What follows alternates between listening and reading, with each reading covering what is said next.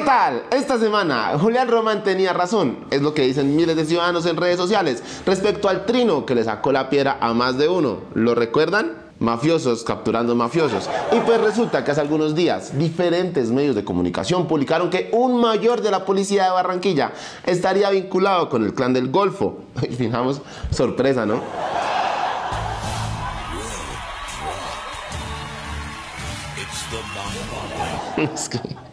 Y después no quieren que los ofendan, ¿ah? En fin, en esas instituciones sí que hay bultos y bultos de manzanas podridas.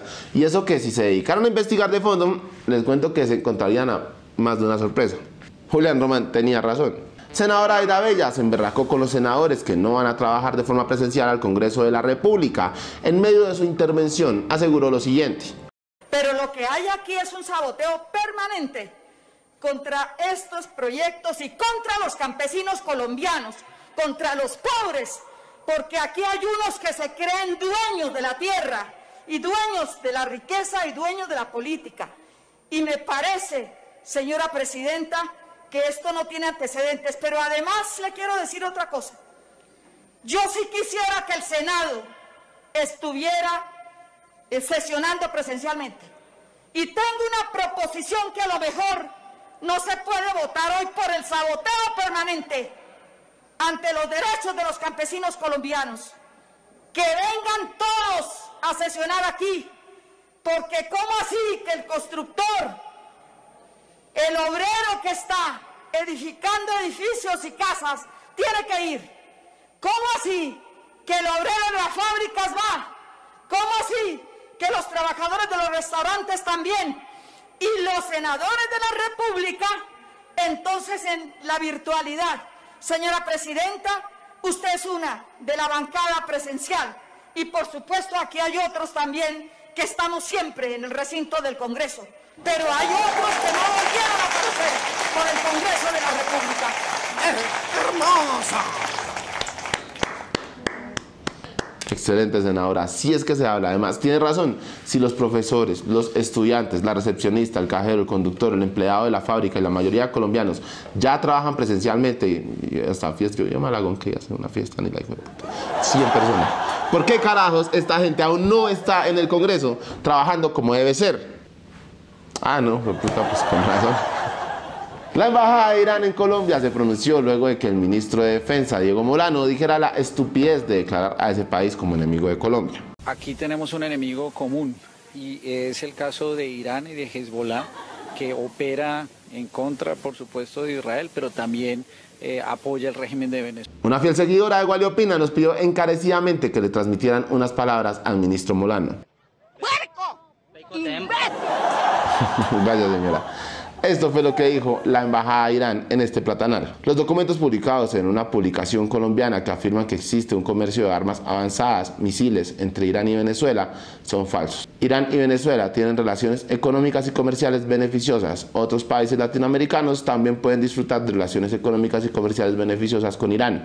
Colombia e Irán son hermanos, uno en Sudamérica y otro en Medio Oriente. Viva Irán, viva Colombia. Como dijo el representante Navastalero, si en Colombia de verdad tuviéramos presidente, hace rato hubieran echado a Molano por irresponsable y por bruto. Atención, víctimas de falsos positivos le ganaron al general del ejército Marcos Evangelista Pinto, quien pretendía prohibir el mural. ¿Quién dio la orden? Para así respetar su buen nombre. Corte Constitucional protege mural. ¿Quién dio la orden sobre falsos positivos?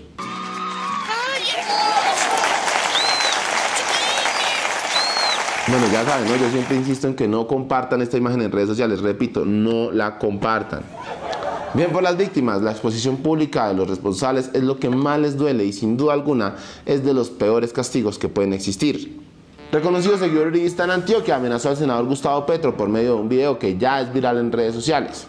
Cree que todo el mundo es como él, que maneja dinero en bolsas. Ese es un sinvergüenza. Y entonces a mí me dicen gente de ese sector, hoy me contactaron y están muy ofendidos. Y me dicen que la próxima vez que este señor venga no lo van a buchear, sino que se va a llevar una tomatina y una huevera y que están dispuestos a, llegar a, a consecuencias malucas, porque están ofendidos, porque este señor los ha ofendido. Mire, este mensaje se lo mando al señor Gustavo Petro. La próxima vez que venga a Medellín es bajo su responsabilidad, porque se va a llevar una sorpresa, señor. Que estén respetando un sector que genera empleo y que es sagrado aquí en Medellín. Se va a llevar su sorpresa, esa gente no está a gusto con usted. Por allá no puede volver usted ni ninguno de su campaña. Vamos lo que hay y lo que le encanta a los uribestias. Este hermosísimo canal buscó algunas fotografías de este sujeto y se encontró con lo siguiente.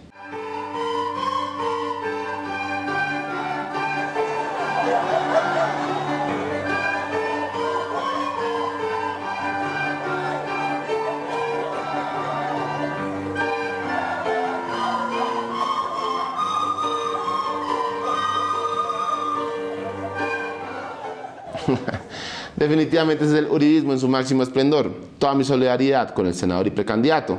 Amigos, mi nombre es Luis Emilio Arboleda y plomo lo que hay, pero me dicen Wally y esto es Wally Opina. Bienvenidos.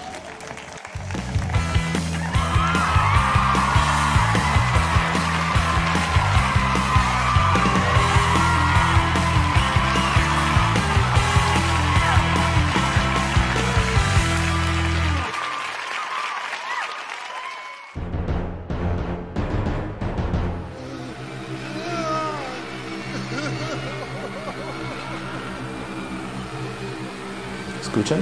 ¿Escuchan eso, mis mamertos hermosos? Yo sé que suena tenebroso y hasta paranormal, pero en realidad se trata de una nueva lloratón uribista. Mis buenos muchachos, mis muchachos pros y honorables, les cuento que en el uribismo se encuentran bastante tristes e indignados. Resulta que en un mismo día un juez tumbó la jugadita a acabar con la ley de garantías, la corte protegió el mural de quien dio la orden y el Centro Democrático perdió la presidencia del Consejo de Medellín. Ah, y para rematar, la Corte Constitucional mantuvo la calidad de imputado al expresidente Álvaro Uribe Vélez. Así que hoy bautizo al líder del Centro Democrático como el imputado número 1087985.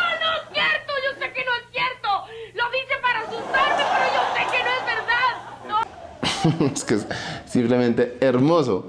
Resulta que este 10 de octubre, en la sala plena de la Corte Constitucional, los magistrados tenían que decidir y votar la tutela con la que el expresidiario Uribe buscaba quitarse encima la calidad de imputado. Perdón, de imputado. De imputado, no, porque después. Guiño, guiño. Lo que en última significaba la anulación por completo de su proceso judicial. ¿Ah? ¿Qué tal? Tan huevón. El caso es que si Uribe hubiera ganado, el fiscal encargado del caso, Gabriel Jaimes Durán, habría tenido toda la libertad y la atribución para archivar directamente el proceso sin tener que consultarlo con un juez. Pues, como ha querido la fiscalía de Francisco Barbosa, desde que el cobarde del expresidente renunciara a su curul en el Senado para que la investigación pasara de la Corte Suprema a esa entidad judicial. La votación en la sala plena tuvo una duración de más de 12 horas y estuvo de infarto, o sea, ¿para qué vamos a hablar mierda? Estuvo de infarto. El resultado, como ya muchos de ustedes saben, fue 5 contra 4. Los votos a favor de la ponencia, es decir, en contra de la tutela Uribe, fueron del magistrado ponente Alejandro Linares, del magistrado José Fernando Reyes, de la magistrada Gloria Ortiz, de la magistrada Cristina Pardo y de la magistrada Diana Fajardo, quienes hoy, sin lugar a dudas, se convierten en enemigos del uribismo. Y eso sí que es peligrosísimo, porque, ya saben, ¿no? Por eso debemos rodearlos. ¿Qué? Presidente Eterno. Muy berraco con usted. ¿Todo bien? Y, lo que, y, y si lo veo, le, le voy a dar en la cara marica. ¿Sí ven? El gran colombiano, el muro de contención contra el comunismo y el castrochavismo está muy berraco. Por otra parte, los votos favorables a la tutela de Álvaro Uribe fueron del magistrado Jorge Enrique Ibáñez, el magistrado presidente Antonio José Lizarazo, la magistrada Paola Meneses y el magistrado Alberto Rojas Ríos.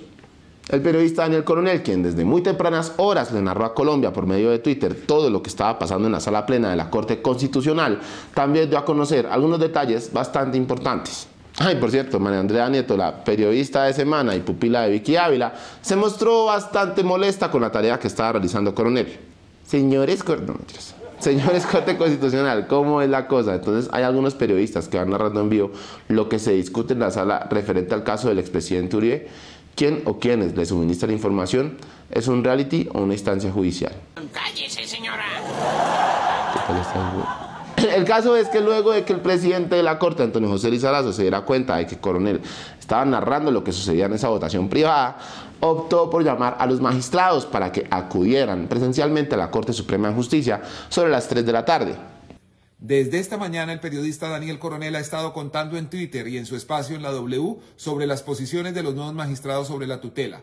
Eso ha molestado a algunos magistrados que pidieron parar el debate porque, no se, siente, porque se sienten presionados para votar bajo la luz del público. Cierra comillas. A mí me da vergüenza incomodar, pero ese es nuestro trabajo, informar a los ciudadanos.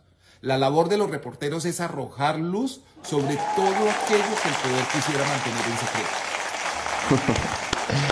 Daniel, como le dijeron alguna vez a James Rodríguez en Argentina, usted es la verga. Queremos felicitarte, así que debo decirte que usted es la verga, hermano. Muchas gracias, coronel. Muchas gracias. El periodista también dio a conocer que a los magistrados les prohibieron tener celulares o computadores en la sesión. Pues, para saber que los micrófonos los metían en los tintos en la época de Uribe. bueno, diputado. Usted sabe eso. No, pero en serio, esto es gravísimo porque durante una votación como esta, los magistrados tienen la necesidad de mirar jurisprudencia, documentos electrónicos y, claro, comunicarse con su equipo de trabajo y sus magistrados auxiliares. Pero, cosas que pasan en nuestra Colombia del alma. Ahora bien, ¿qué dijeron en el uribismo sobre la decisión de la Corte? ¿Qué dijo el mismo Álvaro Uribe? Es el momento de pasar a nuestra sección Llórelo, papá.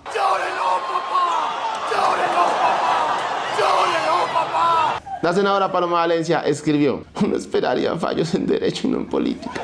Qué dolor que las instituciones se parezcan más, ¿qué? se parezcan más a partidos políticos que ecuánimes juristas.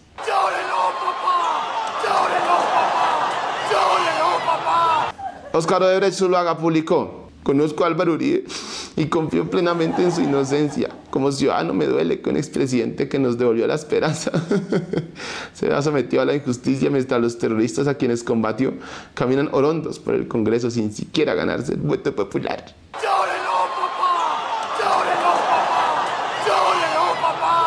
La Cabal también se pronunció y escribió. Los mismos que le dijeron sí al acuerdo con las FARC son los que hoy niegan la tutela al expresidente Álvaro Uribe. El mundo al revés. ¡Qué injusticia!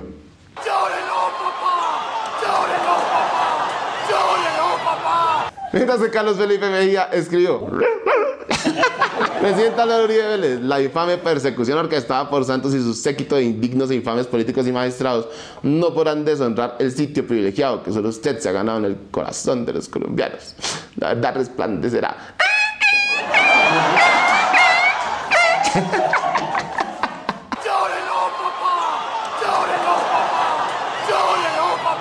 Finalmente, para que ustedes tengan en claro dos cosas muy importantes, mis mamertos hermosos. La primera es que por iniciativa de la magistrada Gloria Ortiz, Uribe puede citar a una audiencia innominada para que las actuaciones y pruebas sean nuevamente revisadas por un juez de garantías. Y pues ustedes saben que el expresidiario se puede inventar cualquier jugadita. Y la segunda es que el tiempo de prescripción de sus presuntos delitos de soborno de testigos y fraude procesal empieza a contar desde el 18 de octubre de 2019. Es decir, la justicia lleva más de dos años sin llamarlo a juicio y cada día que pasa se aproxima más la prescripción por extinción de la acción penal. Y pues para nadie es un secreto que Uribe tiene como abogado a los mejores especialistas en vencimiento de términos. ¿Qué pasará con este juego del calamar que involucra a expresidentes y paracos? ¿Estaremos vivos? No mentiras, estaremos pendientes. Ahí nos vemos.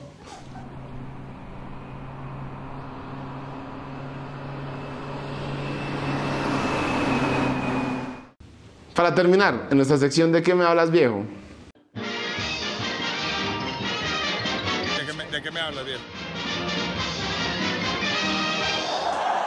Por ahí existe un dicho que dice, cada quien cosecha tan solo lo que siembra. Y ese es el caso del ministro de Defensa, Diego Morano, quien con sus estupideces y decisiones sembró que lo calificaran como el peor funcionario de la historia de Colombia, según la firma Cifras y Conceptos.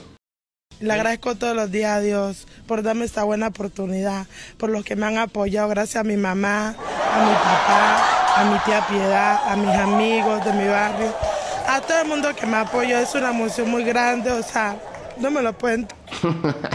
es decir, que Siendo el peor, Molano cumple con los requisitos para atornillarse en el puesto. bueno, por lo menos queda el presidente, que es el peor ministro y el peor funcionario que ha tenido Colombia en su historia. ¿Sabes que ganarle a Oinem? Es que hay que ser muy malo, hijo de puta, ser más malo que Uribe. más malo que Voldemort. Amigos, hasta aquí el video de esta semana. Les recomiendo compartir, darle pulgar arriba si les gustó y suscribirse en este hermoso canal en el botón rojo de la parte de abajo. También activar la campanita de notificaciones. La pregunta esta semana es, ¿conoces a alguien más malo que Molano? Deja tu opinión en la caja de comentarios. Amigos, aquí les dejo mis redes sociales para que me sigan.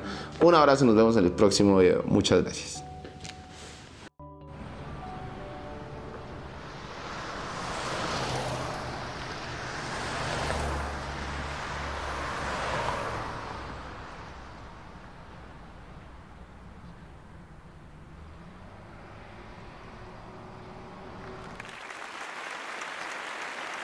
Ahora Vale Opina tiene Patreon. Si quieres contribuir con el canal, puedes hacer clic en este enlace.